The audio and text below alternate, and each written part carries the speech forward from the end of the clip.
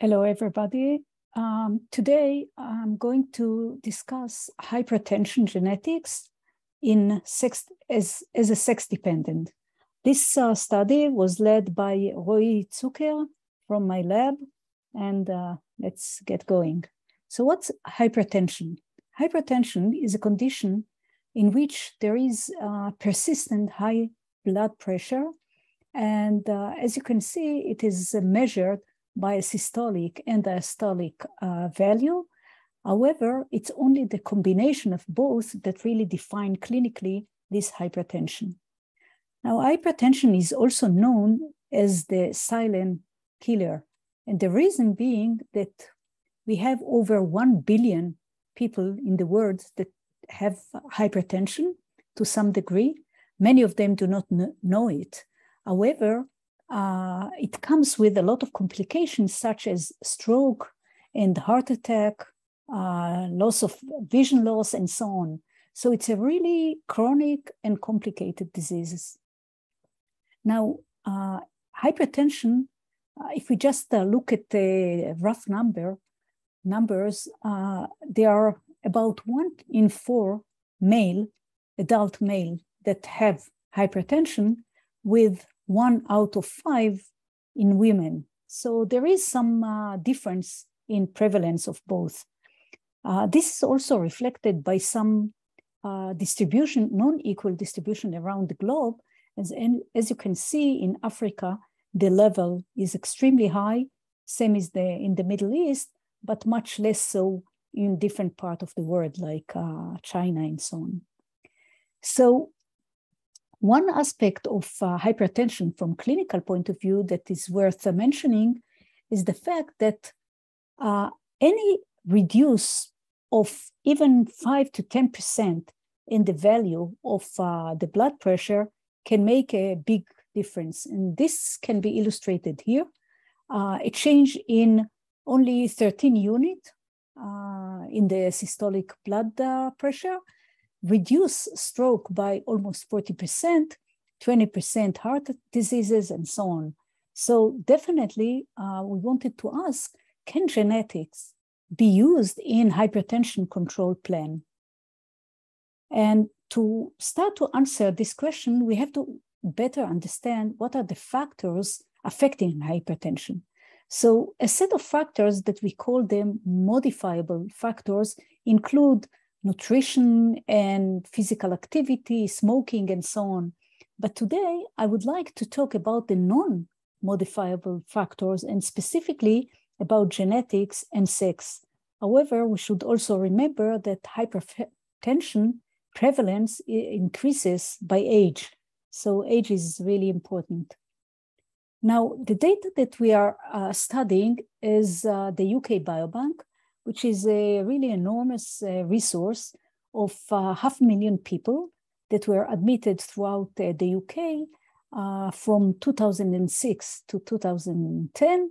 And uh, more importantly, the data include, uh, includes the, information from many layers, such as medical records, including lab results, procedures, and so on, self-reporting, documents lifestyle, especially nutrition, mental uh, health, and so on, but also uh, to other discussion, the genetics. And when I say genetics, I mean every each and every one of those patients have its genotype uh, done.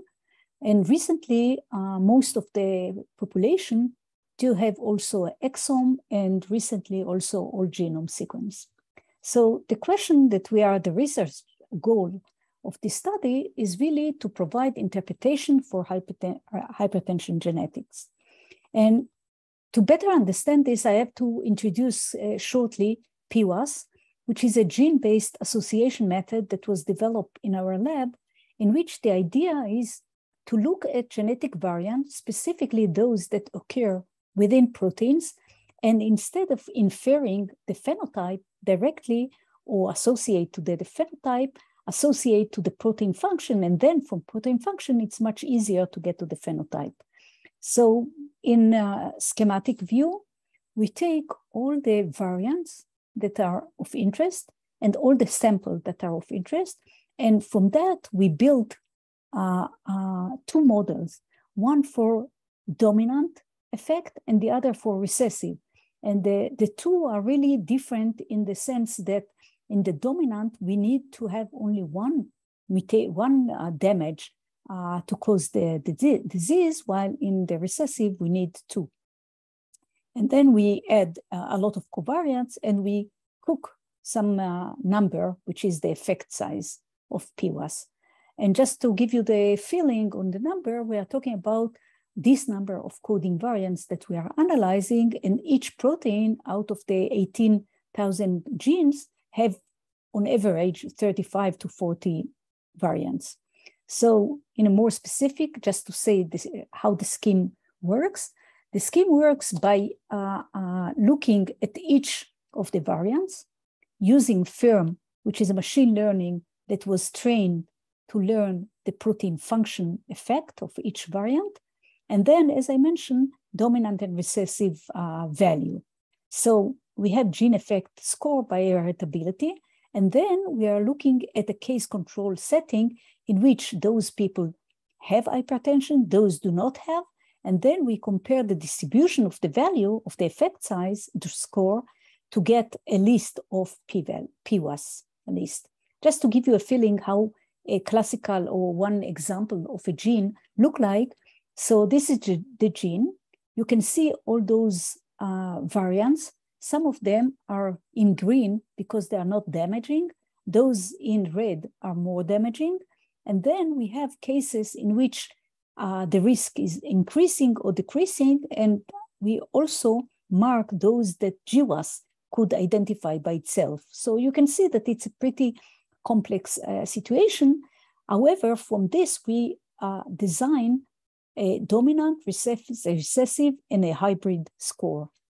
Now, to give you a feeling why we are doing it, uh, we, we wanted to address some of the limitation of GWAS, specifically the fact that GWAS do use additivity in order to uh, uh, get the association.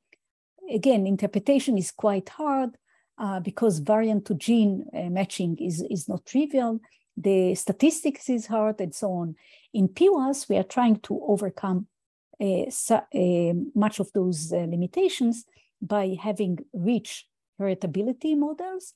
The interpretation is much easier, the mapping is easier because we are starting with protein only. And then the statistics is much easier because we are only talking about 18,000 genes and not millions of variants.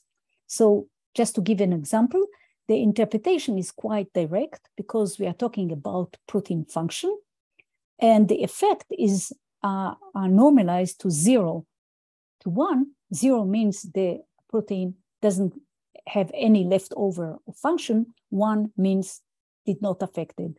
And we are also use this heritability, as I mentioned, but just to give you a feeling, the PWAS allow uh, genes a gene to be affected by two different variants that together cause uh, damage uh, where uh, GWAS uh, have hard time doing it. So when you compare everything that was done by GWAS, we can find that there are over 1,300 genes that were associated somehow with many hypertension GWAS studies. However, uh, PWAS, which is much more solid, and then uh, have already only identified 70 uh, genes at a high level. And quite surprisingly, the overlap with the large set of uh, GWAS is, is partial. Now, when you look at the, uh, those 70, we were able to see that 18% of them were only detected as a recessive uh, inheritance, and that's quite important because that means those genes could not be identified by GWAS. Another uh, observation that were not clear in, from the beginning is that about half of the genes are protective and half are risk, and this is uh, illustrated by the color. So to wrap up this part, uh, we have 70 genes. These 70 genes, half of them have protective are genes with protective uh, function, 18% are uh, of the gene complies with recessive inheritance. And I should also mention that the gene effect, each and every one of the variants is quite low. Now the, uh, we wanted to look at it through sex and we ask whether if we separate the uh, cohort to female and male, what do we get? And indeed, immediately we have seen that there are more male than female in the cohort that have hypertension. And uh, we repeat the same uh, procedure as I explained before. When we start by looking at GWAS just to make sure that we are uh, not, uh, that, that GWAS also can capture some of this effect, we are able to find in the coding region itself. So now we perform GWAS on about 600,000 uh, uh, variants within the coding region. And immediately we have seen some genes, not that many, that have really very big difference if you look at females versus male. So we wanted to, to, to look at the same, but this time from the uh, perspective of PWAS on sex. When we look at this, we uh, what I show you here is the minus log 10 of the hybrid mode, which means uh, both a dominant or recessive uh, inheritance. And here we look what is the, the uh, difference in the two sexes. Each sex is by different color. So the blue and the uh, red are the female, male and female respectively. So you can see that the distribution is not the same and we can look at it in a even sharper way by look at male versus female in terms of uh, how much uh, confidence we have for each. And immediately you see that most of the signal in this indeed is in a female, uh, and only one gene is more uh, prevalent in, in male. When we compare all those 70 genes that I've discussed before, we were able to find four exclusive female genes that cannot be found by any other model, none in the male, but only one of them uh, is shared between the two sexes, and the hybrid uh, provide most of the signal. So here is a list of the female significant PWAS genes that are significant above this uh, threshold line. And if we just take the first 10 this is, by the way, the one that is shared. And this, this shared one is very important in autoimmunity, such as celiac, type 1 diabetes, and so on. If we look at the top list, uh, we find something that was unexpected, but uh, very ensuring that many of those genes are marked here in uh, yellow are involved in the uh, immune system, either in the innate immune system, in T cell, macrophage, dendritic cells, autoimmunity, and so on, actually we could see that some of those uh, observation is duplicated by having the expression, maximal expression in relevant immune uh, organs. And as you can see, those genes, if we just uh, take the top one and trying to understand what can we understand from this, we realize that this specific genes is uh, located in a very active region of uh, Ly6 family. This family uh, play a critical role in regulating the immune uh, response. And as you can see, they are actually similar to each other. And this phylogenetic tree showed us that all those 10 or 12 genes are indeed very related. However, if we try to look at uh, whether we have any validation from outsider, uh, outside uh, information, we found to our uh, delight that some of this gene, specific this one, this uh, variant in the intron of the gene that I just discussed, is associated with hypertension diagnosis in East Asian population. And uh, I think we have uh, uh, some validation in external uh, data. The last few minutes, I want to discuss PRS. PRS is a way to look at the population in term uh, while combining all variants towards prediction.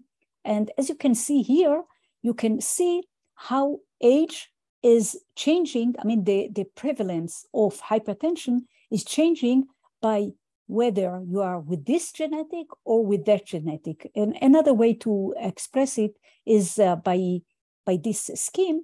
For example, if you are 65 years old, this line, and you are with the 10% of the best genetics, you have only 10% uh, uh, prevalence. But if you are with the 90% of the worst genetics, you have 40% uh, of diagnosis. So you can see that it's very much depends on your genetics. So if that's the case, can we learn something from what I just told you? And to do this, we have to look at PWAS gene-based PRS. What I mean by that? First of all, I already mentioned, but without giving you the number, that uh, females have a lower prevalence of hypertension than male. And you can see it, it's quite, uh, it's almost one, 1.5 uh, ratio. However, if we take one gene that we know it's a protective gene, what does it mean, protective gene? That the non-reference uh, protein, those with variants, is negatively correlated with the occurrence of hypertension. And I, I can say even more, if we take now the population, only female, and we look that the average of the population is 22.6, as I already mentioned. However, if we take the uh, genes from PWAS, the 7% of the population, we see that this population only have 21% prevalence. So this is very significant because we are talking about on thousands of people, of female.